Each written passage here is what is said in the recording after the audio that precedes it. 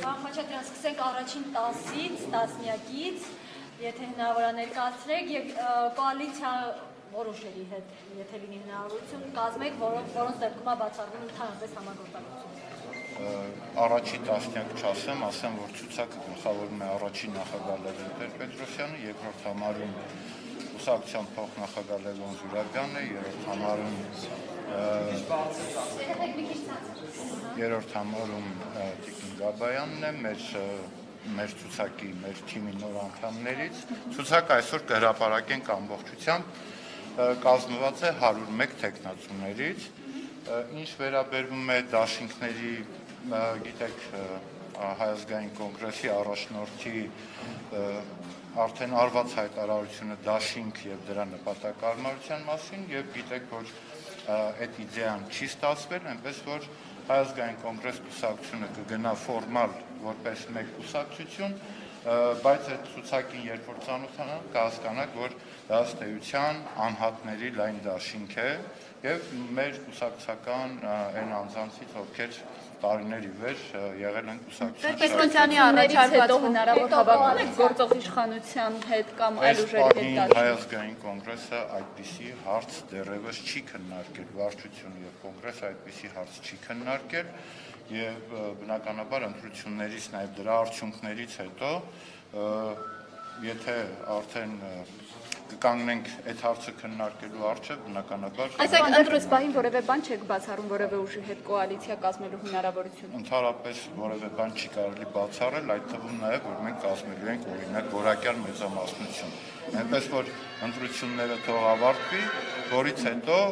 քվեարկության արդյունքները հայտնի դառնալուց հետո, հունիսի 20-ից հետո, եթե անհրաժեշտություն լինի քննարկման առարկա դարձնել դաշինքներ կոալիցիաներ կազմելու հարցը բնականաբար Տեր-Պետրոսյանը ֆորմատ էր առաջարկել երեք նախկին նախագաների։ Դա այս փուլում չստացվեց, հետընտրական փուլում դրա հավանականությունը ինչքան է եւ այդ նախապայմանը, որ ինքը դրել էր, ինչքանով է հնարավոր այդ դեպքում պահպանել եւ կարեւոր դառնում է։ Առաջին նախագահ քաղաքական կոնկրետ իրավիճակում կատարել էր հրաապարակային առաջ, ավելի շուտ կատարել էր առաջարկ, որը հետագայում հրաապարակայնացվեց։ Նորից եմ ասում, կգա կհասնի այն պահը, երբ որ հասկանալի կլինի կոալիցիաներ կազմելու նպատակահարմարությունը կամ Ուղղակի քվեն տալուց հասկանան ինչպես կարող է ծառայեցվել այդ քվեն։ Մենք մտնում ենք ընտրական պայքար հայազգային կոնգրեսը որպես կուսակցություն առանձին եւ մենք պայքարելու ենք մեր կուսակցության մեր գաղափարների քվեի համար։ Հետընտրական փուլում Հետընտրական փուլում քաղաքական ստեղծված իրավիճակում հայազգային կոնգրեսը կգնա այդ իրավիճակը դրանից բխող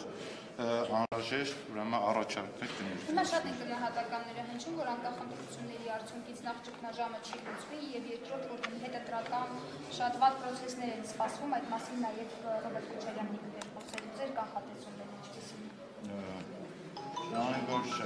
այս ընտրությունները շատ քիչ է հավանական որ մեր քաղաքական ճգնաժամ կլուծեն,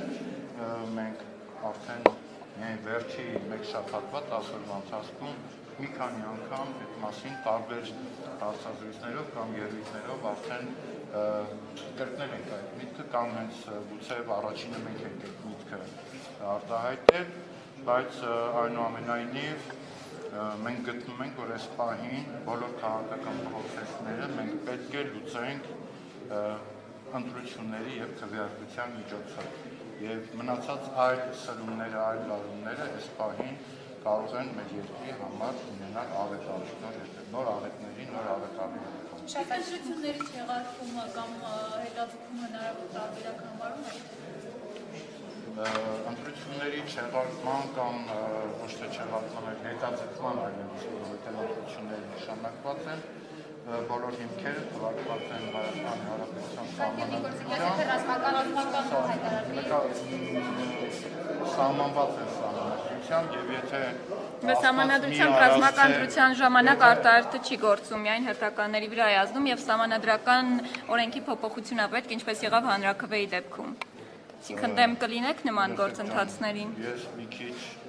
իրավաբանությանը ավելի լուրջ եմ վերաբերվում, քան բառախաղերն են եւ ակնհայտ է, որ մեր համանadrությունը նախատեսել է, որ ռազմական դրության պայմաններում ընտրություններ չեն անցկացվում։ Մնացած այդ բառախաղը, որ վերջի օրերին ունձել տեսապանցիկ հասել է, դա ուղղակի խայտարակություն է։